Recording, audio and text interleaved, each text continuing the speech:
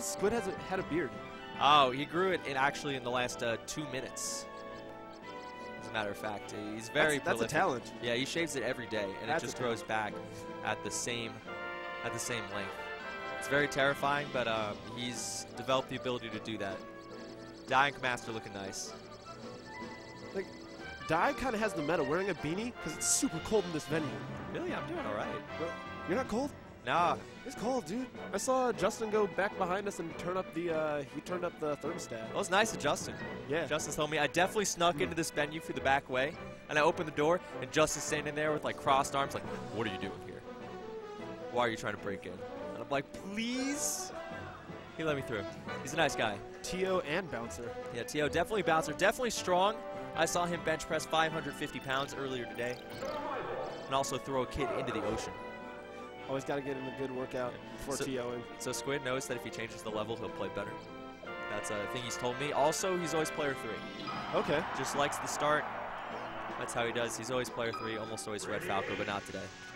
Maybe they're going green. Match up against uh, Kamaster and Dai, who actually just had a very great set against uh, Grillo and Grillo uh, and Far, yeah. Grillo and Far. That's a strong team. It's uh, very good that they beat them. Both of these Irvine players have a lot of experience playing against Luigi Kid, though the question is, do they know the matchup or they know, do they know how to play against Luigi Kid? And I believe that's always the question when you travel out of region and play a similar character matchup. But Kamaster does a smart thing, holds onto the ledge, just rolls up. And I was actually talking to uh, Taj a little bit earlier just about Luigi and about some of the things that he has in doubles. And one of the things to consider with Luigi is that he doesn't get the free reign on the ground that he gets in singles. He doesn't get to move around the horizontal space the way he can in singles. And he actually gets a surprising Oh. amount out of. Oh, wow! There goes Kira. Kamaster deep. Red team with a pretty decisive lead so far. Yeah, both of these players have played against Luigi Kid both in singles and doubles. They both have good ways of working around him. Luigi Kid often teams with a spacey Malachi, Okay. who, who mostly tries to stay evasive while Luigi Kid does the heavy lifting. But in this case, um, I talked to Cesar, who played Kamaster and has played Luigi Kid and beaten him once. I mean, you know, Luigi Kid's still positive, but he says Kamaster's neutral is just out of this world. Just a different world altogether. And you saw that in the short period that he had the 2v1. He didn't go in, he wasn't trying to play the 2v1, he just got away. His movement was fantastic, even when stuck on a platform, managed to get away, managed to stay safe and not take too much damage. Both green team off stage. Side B is into him. Kamaster still picking up. And uh, Red Team actually set up that double edge guard situation with a really good decision by Kamaster to trade a Nair with, I believe, what looked like a Falco back air. But it worked out really well in their favor. I like to see Squid going for the edge guards on Luigi and teams. If he gets a dunk, he can actually just finish off Luigi much quicker than some other characters. And that situation is so tough with Luigi just because Luigi has no horizontal drift on his up B whatsoever. Good cover by Kieran Squid. No possibility for Kamaster to recover. Wow, great save. All right, pretty even. Squid holding stock really nicely. Kira mostly taking the initiative, trying to break through the other team's lines. See how And I out. think when you have this uh, Fox Falco team combination, you kind of have a bit of a luxury as to being able to switch off offense and defense. Yeah, super versatile team. A lot. They work very well together. If they ever try and 2v1 Kira, Squid can just laser a bunch. Oh my Oh, god, there's he's not doing this. You want to know why they call him Styles? Why did he do Partially, that? partially because it's his last name, but also because he styles on you. Was that good? I mean, they have a lead now. Jesus. I did not think he would do that. He's he's a legend. He's a legend. He's so cool. Oh no, he's backdooring them. Almost got the double edge guard on both of them. We've seen that pretty frequently, though. Kamaster edge guarding with the forward tilt on the side Bs. All right, great hold by Squid, just clearing space for Kira to return to stage.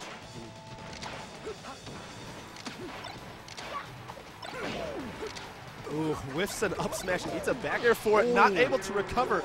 Kamaster, Wow, Khan not taking the stock. This is surprising. he. Oh, there we go. He takes the stock. Oh my god, right as Dai is about to die? Oh, he's trying to get invincibility just when they're trying to kill him? That's kind of risky. Use an up smash a couple percent too. 2v1 scenario, Squid should probably take the lead. Kira is going to definitely be out of here unless there's a monster team save. That's it. Damn. Wow! Got Master putting the team on his back. Holy hell. I don't want to play this guy. He's spooky. That, that was nuts. The way he edgeguarded both. Yeah. Both spaces at the same time saw the weaknesses that Falco had in the recovery, able to force Fox down Oh to try to recover up. Oh my gosh, the presence of mind. So Master had like five crazy things that game. How do you 2v1 them? He's Luigi. Well, his last name's Styles. What do you expect from a man whose last name is Styles? I don't expect him to win a 2v1 versus Kieran Squid. It was a good situation for him. He picked his invincibility well, but my god. Okay, we're going right back to Battlefield. Let's see how they try and isolate the Falco a little bit better.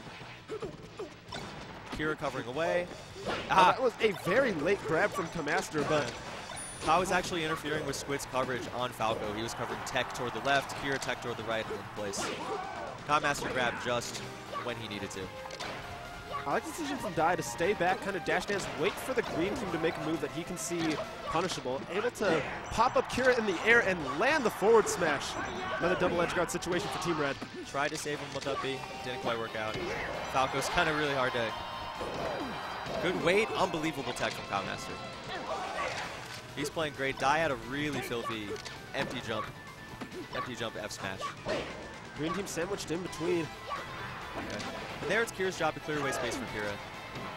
Or Squids, excuse me. Dai in trouble in the 1v1. Now with Great Master done, they might be able to convert this.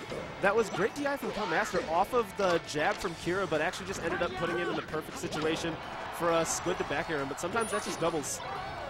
Nice stage control by Kira Squid. Had no problems getting back to the edge. Oh no! That did not go the way Green right wanted his to. teammate. Oh no. Maybe he should have backed him. Just get him out of there. Okay, 1v1 Squid die in the corner. Squid likes to target switch back to Master. Exerts a lot of good pressure on him. But all of a sudden, Master reverses it. He's playing really, really well. was able to pop him up on the top platform and react to the tech roll. Another thing that I actually heard from Taj earlier about how uh, Luigi actually can use the platforms really well to extend his combos despite not having great aerial movement. Because he does get to wave lane along and he puts some pretty big hitboxes out. There are a lot of situations where red team's not in a situational or positional good spot, but Master and Dyer are just fighting their way out. And that's another form of just very good team play. Okay. Double laser, not something Squid normally does, but he's just trying to clear space for Kira. The double fair? Man, these double edge guard situations. Wow. Well, I don't know if we've ever seen them drop one yet. They are working together really, really well as a team. Poised to make a pretty big run here in the doubles tournament. Trying to eliminate Irvine. Okay, Master by himself, he will be able to just let Stone survive. Squid elects not to challenge him there, decides rather to move towards uh, move towards Dai as we see them focusing a little bit on him up on the platform there. Kira needs to get out of here with the stock. Good back throw that time, I like that. If Kira, if Kira's able to find this kill on Kamaster, who's starting to get to a higher percent before he loses his stock, ooh. However, another double edge guard some sort of situation. Kira's gonna have to 2v1 way against him right now. Good shot out of shield. Okay, now you just gotta move entirely to Kai. You don't get to edge guard in the 2v1 like this unless you really, really trick them and time it perfectly. Red stuck on the ledge. Here's the edge guard situation. Actually, Fireball, uh, Firefox is right through the fireball. Yeah. I mean, even if he gets hit by Fireball, it's got such low stun that he can just mash side B or up B again.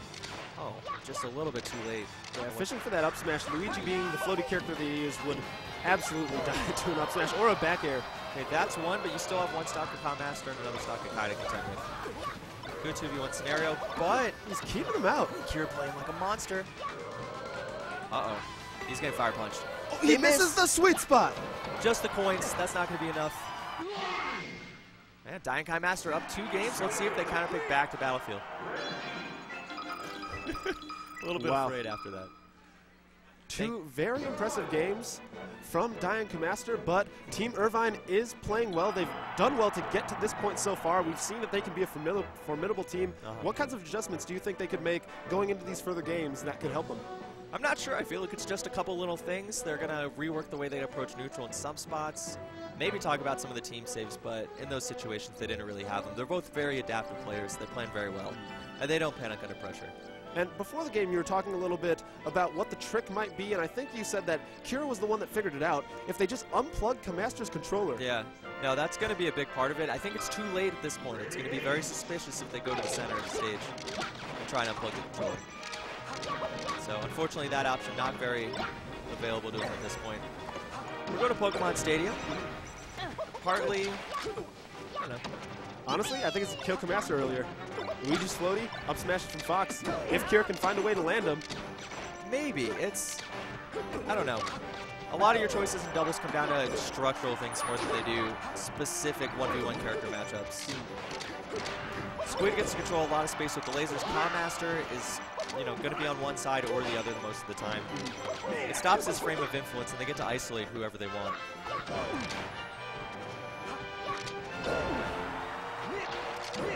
But when you talk about isolation at this point, regardless of your Squid or Kira, do you want to be matched up? Do you want to be in that isolation against Kamaster the way he's playing today? I think Squid is a little bit more comfortable with it. Kira definitely comfortable in the matchup as well. And it's what you got to do, right? They're both poised to do really well in singles. You got to beat some good people. You know, Squid can stay side of laser heavy if they have Dai on the other side and see what Kira can do, convert into a 2v1 with him. And in this situation, Squid can just laser over and over and over again. Fantastic lasers from Squid. Forcing him into the corner, giving him a good advantage, but Dai putting the real pressure onto Squid now at the corner. And sometimes in extended 1v1 combos, in doubles, it's a sign of tunnel vision. But in that case, Dai knew that he just needed to keep Squid contained. Very good choice. Squid forcing it now, Kira defending the back line. Time Master target switches back to the back. Oh, great DI from Kira, getting out of the way of what could have been a back air off of uh, Kamaster's up throw, but finally just got to that percent where you're not going to live with any DI. Kira finally coming to Squid's rescue there off the building. They find an edge guard on Dai. And now Master can't convert on Squid. And it is very difficult to convert when you're Luigi in that situation. Popped up so high in the air. He doesn't. Squid elected to stay back and shoot lasers as Kira was getting comboed in the hopes that one of them would just completely disrupt him. We got a laser battle on the right side of the stage while Kamaster tries to edge guard Kira. Yeah, Dai trying to keep Squid occupied.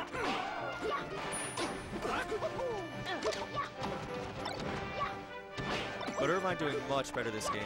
Got a nice stock-ish lead. Positionally, this is working very nicely. Now, I'm not sure what just happened, but it looked like Kamaster just used Dai as a projectile. It does sound possible. Get him into the fray. Okay. While Squid keeps Dai contained. Oh, no. Big miscue. This should be a double edge guard, but Squid can dunk. Gonna be hard with Master there, though. All of a sudden, this is swung back toward Master.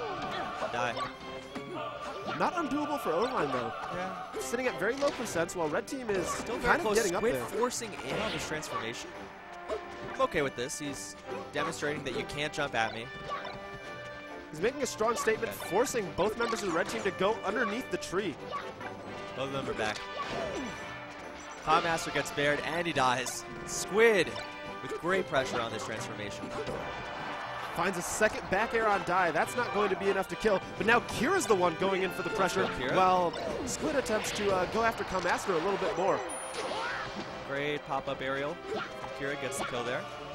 And now you can actually start working on Master and say, well, every big hit will kill you.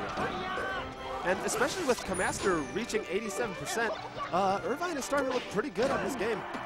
That's going to be it. Now it's a 2v1 on Dai. Let's see how he handles it. Great choice there. Uh, Squid needed Kira to rush it. And what did I tell you? Luigi, on this stage with a shorter ceiling, a lot easier to kill him, takes away a lot of the threat that Kamaster was poising, but If you can find the up smashes, for sure. It was down to Kira to do so, and he managed to do it. Okay, where are we going? Final as possible, but structurally it's pretty similar to what they just saw. I, I would expect something more like Battlefield. The last time we uh, the last time we saw Final Destination with uh, Kamaster and Dai, Yep. oh, I hear Dreamland. Yep. Steven Shackelford, I hear Dreamland. Smart choice there. It's going to give him a lot of space. Kai's going to live absolutely forever. You're going to have to basically victimize Dai whenever you can. Squid's laser game is going to be a bit mitigated because you do have platforms to work around in this case. One of Luigi's hardest matchups being Falco. Partly because you can just make sure Luigi can't move in neutral. Early kill on Kira, but Squid did a really good job of keeping Oh! the red team contained off to the side. Smart Shine Stall trying to get Ka Master back in the fray. Squid finds the bear around Ka. Ooh, this could be an early kill. He didn't have the down B charged. Good Sometimes 2v1. this melee wants you to lose. Yeah. I mean, you've got a Fox and a Falco cornering you like that. Sometimes you're just going to lose your stock. You're automatically ready as soon as Squid's in trouble.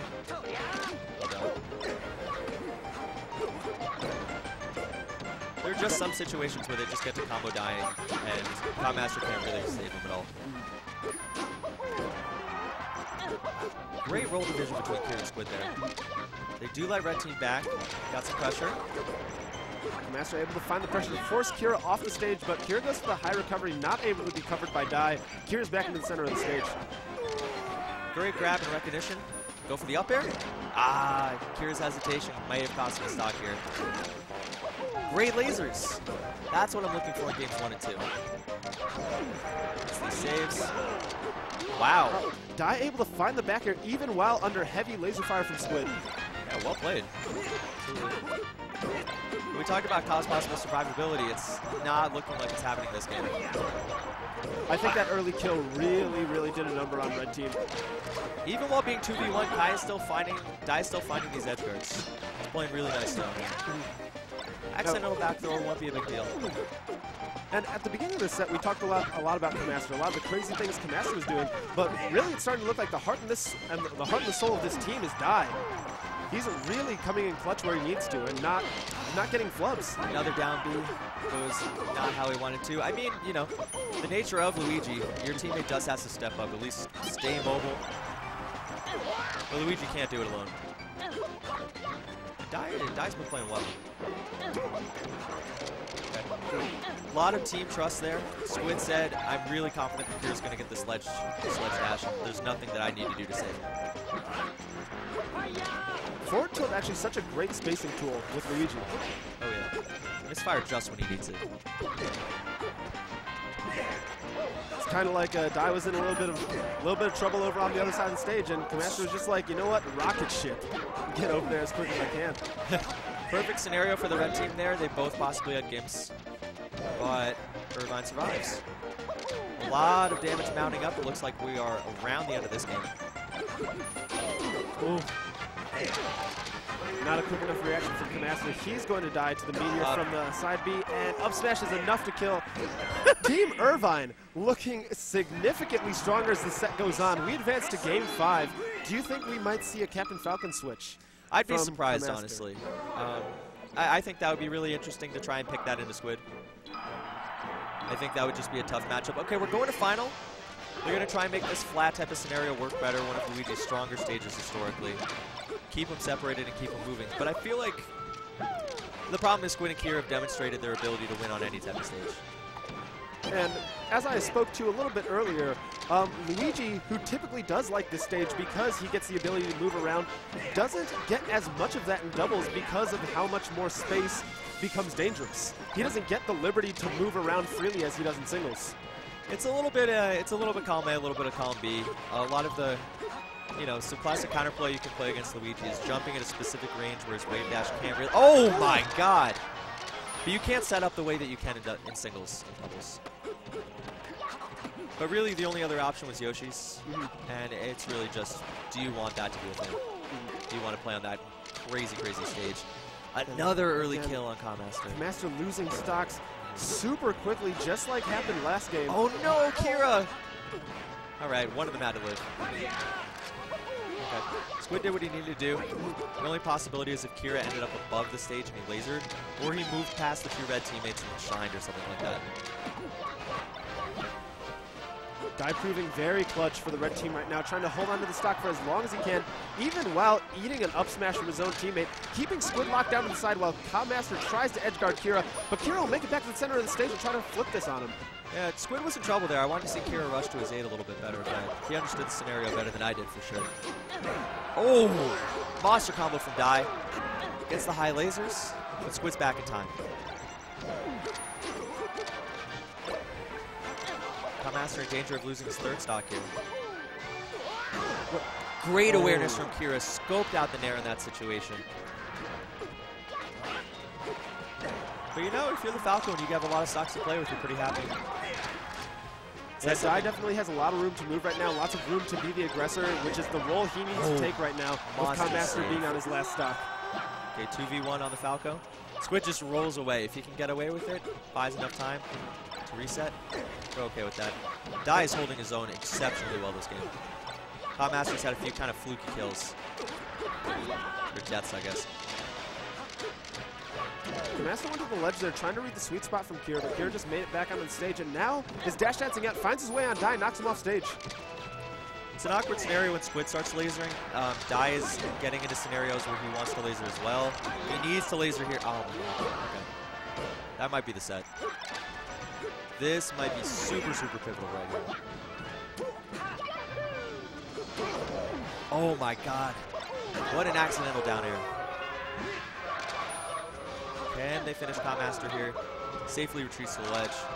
Dai coming back, and he actually read the jump over. Oh wow, great save from Dai, actually ends up killing Squid. Oh my god, is Kira done for here? He is. Oh my, Kamaster, no. And now it's an even game back again. Immediately takes a stock. Kira sitting at 67%, finds the tries to find the jab reset, not able to get it, and Kira goes in with the drill shines. Green team doing monster damage on Dai right now. Dai needs to survive without too much. Kamaster tries to reverse it out. All of a sudden, green team is almost evened up the percentage here. Okay. Dai off stage. Kira need to. Kira needs to get this edge guard. Good teamwork here, and that's going to be it. That is it. Wow, great Wow. execution at the end by Irvine. Hard fought set. Absolutely. Irvine eliminates the tryhards from the tournament. Yeah. Prince Abu